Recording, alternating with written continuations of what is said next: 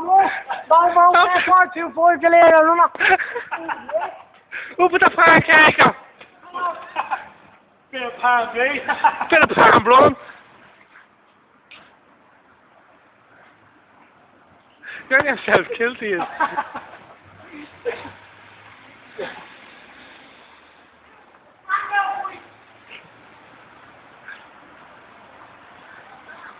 Put them all, look at the. Fuck.